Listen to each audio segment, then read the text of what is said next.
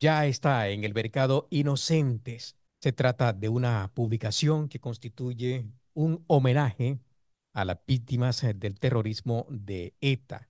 Es una publicación de Juan José Mateos. Mireya Company, muy buenos días. Buenos días a todos los radiantes. Eh, Juan José es guardia civil y en el momento en que eh, pasaron 20 días que estaba trabajando tuvo un atentado terrorista y a partir de ahí él se dedica pues a pelear contra la banda terrorista en primer lugar a través del GAR que es una especialización de la Guardia Civil que se dedicaba a esta lucha contra ellos a perseguirlos y después él eh, se adentra en esa aventura literaria. Ya tiene cinco libros como hemos dicho en su haber. Uno de los más famosos ha sido Picoletos que ya va por la octava edición y hoy viene a presentarnos eh, su último título que se llama Inocentes y que el prólogo lo ha hecho toda una evidencia que hacía 30 años que no prologaba y es Fernando Sabater. Así que, Juanjo, cuando quieras. Juanjo, gracias por estar con nosotros. Hola, buenos días. Respaldo que ha recibido por parte de Fernando Sabater, pero en el fondo este reconocimiento tan importante a las víctimas del terrorismo de ETA. Pues sí, eh, tan importante y tan necesario, ¿no? Porque hasta ahora, eh, por diferentes cuestiones políticas, sociales, pues se ha ocultado no eh, no lo que ha sido la ETA en realidad pero sí que se ha, se ha censurado sobre todo a las nuevas generaciones aquí. Eh, entonces creímos conveniente eh, hacer este este homenaje este, esta, historia de amor tan intensa. Y bueno a, la hora de buscar un, un prologuista pues recurrimos a Fernando Sabater que lleva casi 30 años sin prologar él nos dijo que era complicado porque, ah, desde luego, pues no lo hacía porque si no recibiría todos los meses muchísimas solicitudes. Bueno, le mandamos eh, lo que ha sido mi, mi vida dentro de la Guardia Civil, ¿no? Y, posteriormente eh, cómo intento eh, luchar contra ese olvido y teniendo una agenda muy amplia de viudas, de huérfanos, de madres, hermanos, padres, madres. Entonces, él dice que, bueno, que, que siendo así, que, que sí, que me va a ayudar y evidentemente es un, es un gran paso porque este hombre luchó con la palabra. Nosotros luchamos con un uniforme eh, en, una unidad muy, muy fuerte. Eh, él no tenía aquellos cuarteles, esos retos necesarios donde refugiarse y, es muy meritorio lo que ha hecho. Entonces él nos hace un prólogo y desde luego, pues eh, vamos, estamos eternamente agradecidos y, así iniciamos esta nueva aventura de, de, lo que es el de lo que es inocentes, las otras víctimas de la ETA, unas unas personas olvidadas. Juanjo, eh, me llama mucho la atención porque tú hablas siempre de ese sentimiento, con esa, empatía que se merecen las víctimas y que obviamente, sobre todo eh, en esos años de plomo, ellas no tuvieron, es decir, ni, ni, esa viuda ni esos hermanos. Entonces haces como eh, cuentas, unas historias, como nombras en el primer capítulo, con el nombre de ficticio de Manoli, esas historias que, que digamos la gente, la gente no conoce y que todo esto eh, se ha vivido en el País Vasco, ese, ese silencio, ese, ese ninguneo. Han matado, por ejemplo, a tu padre, a tu marido, y tú no, nadie te ha mostrado eh, ni la más mínima condolencia, ¿no? Y encima eh, se escuchaban siempre esas típicas frases de ya sabían a lo que iban, por ejemplo, en el caso de los guardias civiles, o el algo habrá hecho, ¿no? Seguro que era, que era un chivato. Todo esto ha cambiado en el panorama actual del País Vasco. Sí, sí, ha cambiado mucho. Lo que pasa es que esa eh, amnesia inducida impuesta por, por intereses políticos, sobre todo, y, y lo hemos visto por lo de ayer, eh, pues, pues eh, es muy diferente ¿no? a lo que ocurría en esos años, en esos finales de los años 70, luego los 80, en los 90, ¿no? cuando asesinaban a una persona, porque este libro no trata de, asesinatos a miembros y fuerzas de, de los cuerpos de seguridad de Estado, que, hemos sido el colectivo más atacado en, en global, ¿no? aunque es verdad que, que, las, que los civiles, en este caso, eh, por, por, número, por cuantía, han sido más, muchas más personas asesinadas. Pero no, no, eh, o sea, por norma general se ha escrito mucho sobre esto, se ha novelado mucho, hay mucha novela, ¿no? En, esas novelas, eh, lógicamente, el, escritor con, un criterio a, su manera, pues da a conocer lo que el impacto, ¿no? De, de, lo que es el atentado.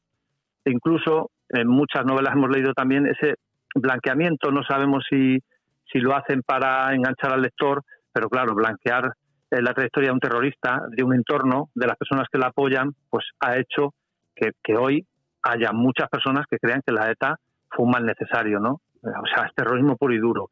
entonces, a la hora de hacer este libro, nos centramos en, esas historias de amor preciosas de antes de, sufrir el atentado, ¿no? el impacto del atentado y el día después. Del día después no se ha hablado, no se ha hablado porque hay cientos de viudas y miles de personas incalculables que, no han podido expresar eh, ese dolor, ¿no? Como, como expongo en el caso de Manoli, que Manoli tiene nombre y apellidos, eh, lo que pasa es que tiene, una, muchos hijos, una familia numerosa, incluso, por, por dar detalles, eh, tiene hijo, un hijo vinculado totalmente con la izquierda radical, mal llamada Berchale. Entonces, decidimos que es mejor no mostrar su nombre porque ese pueblo es muy pequeño y, hoy día, hoy día puede tener problemas. Lo, decimos así, lo decido yo con ella. Eh, luego, por supuesto, hay, hay decenas de, historias, eh, que no solo de viudas, de huérfanos, de huérfanas, de madres, que, que, sufrieron todo aquello en silencio y como dice Manoli, es que no me han dejado ni ser viuda. ¿Por qué? Porque nadie le dio ese amparo, ni el cura, ni las vecinas, unos por intereses, otros por miedo, pero al final no se ha hablado de ello, no se ha profundizado. ¿Entendéis? Entonces, era este libro es necesario y es real, no es, no es una novela, es real. Y aún así yo sigo pensando que nos queda muy corto porque esa, esa amnesia inducida, eh, provocada por el nacionalismo, por intereses y luego aprovechada en este caso por, por, por los proetarras, por, Bildu, que bueno, no solo tenemos que centrarnos en lo que en, sus ideales, ¿no? Y en, no condenar de manera tajante o intentar blanquear como hacen o borrar aquella historia, ¿no? Tenemos que pensar que, que su gestión puede ser letal, ¿no? Para los mismos ciudadanos que, lo desconocen, porque nunca han gobernado, solo lo hacían en el ámbito local, que lo hicieron de manera inteligente y, aquí, pues, el euskera es un método totalmente excluyente. Eh, aquí no hay opción, aquí tienes que agarrarte a ello y todo eso ha derivado en que en que haya que escribir este libro y, muy agradecidos a Fernando Sabater porque, porque es evidente que la repercusión que puede tener el libro, yo creo, habiendo escrito varios antes, pues sería grande, pero claro, que hable una persona tan vinculada y otros que, que, leeréis en el libro vinculadas con esta lucha contra el olvido es fundamental. Desafortunadamente son muchas las víctimas alrededor del terrorismo de ETA. ¿Cómo hiciste para seleccionar los casos a los que rindes tributo o que alcanzaste a incluir en la publicación? Mirar, el, haber combatido, el haber luchado en primera línea contra el terrorismo aquí, luego haber estado destinado en policía judicial, pues lógicamente yo siempre he tenido contacto con, viudas y con huérfanos y con personas que sufrieron todo esto. Buscar aquí cobertura eh, policial, en este caso, en, un ámbito tan hostil para nosotros, ¿no? Como guardias civiles, eh, pues era muy complicado. Entonces, yo por, empiezo a desarrollar una labor personal, ¿no? Eh, vinculada al servicio, de, de, visitar a estas viudas, a estos huérfanos, a, hijos, familiares, extorsionados, amenazados. Es que es incalculable lo que ha hecho la ETS en torno. Entonces, eh, son muchos años ya conviviendo con ellos, yéndolos a visitar, de, de, servicio, fuera del servicio, y al final eh, recientemente viendo lo que está ocurriendo, ¿no? Sabéis que yo con las ganancias de mis libros eh, llevo a estudiantes vascos al Centro Memorial de Víctimas del Terrorismo. Y te das cuenta de que no ha llegado nada. A las nuevas generaciones no les ha llegado nada. Y a, los que tenemos ya una edad no les ha llegado tampoco por miedo, porque la gente tiene miedo. Y luego aquí el, sistema educativo pues es reticente, no le interesa no haber eh, haber mostrado lo que ha ocurrido en realidad hoy día pues lo han pagado, lógicamente, porque lo han blanqueado lo intentan borrar y se ha beneficiado precisamente el, el que ha causado tanto dolor o los herederos de ellos. Así me relaciono con estas personas ¿no? y cuando les propongo esto de manera, porque surge a la editorial y a, Ricardo Artola y a, su mujer, Ángela Balvey, que es finalista de Planeta, nos surge esta idea. Eh, yo soy reticente y digo, hombre, a las vidas hay que tratarlas de una manera especial y a los huérfanos y a las personas que han sufrido todo esto, pero es que cada vez que voy a verlas me cuentan su historia. ¿Por qué? Porque no pueden contarla ni siquiera a sus familiares, ni a sus vecinos, ni a sus amigos, entre comillas, porque hay miedo, todavía hay una nebulosa aquí que, que no deja expresarlos, que tienen que sufrirlo en silencio. Los únicos que, las, que los atienden son los psicólogos de la VT, que les llaman por teléfono o se reúnen con ellos cuando pueden. Entonces, yo creo que es muy necesario eh, dar a conocer a, a, toda España y al mundo lo que ha ocurrido aquí y, que vean que, es una realidad, que esto no es una novela, ¿no? que está muy bien que la gente escriba, pero que, por favor, que no blanqueen a un terrorista. Eso es imblanqueable, o, sobre todo que no intenten borrarlo.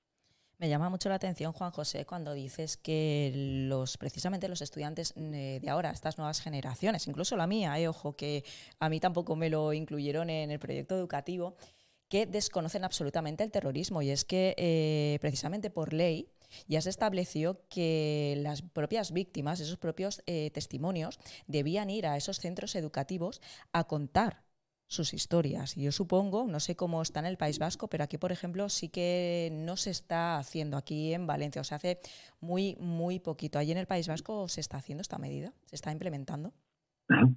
Vamos a ver, el, el sistema educativo, eh, educativo lo gestionan las comunidades autónomas. Hay comunidades autónomas como Valencia que ya lo han integrado, entonces se va a ir haciendo poco a poco. ¿no?